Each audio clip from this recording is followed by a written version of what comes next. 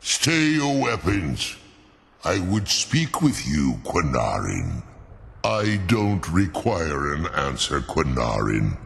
Simply speak my name to the heavens when you feel the time is right. In my language, the Qahnaarin is the vanquisher, the one who has bested a fellow Dova in battle.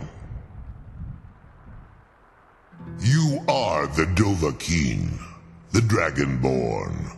You may not be one of us in body, but you have earned the right to bear this title.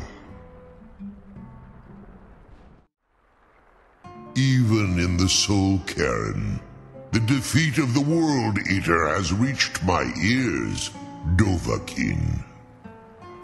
You may not be Dova, but the defeat of Alduin earns you the right of title.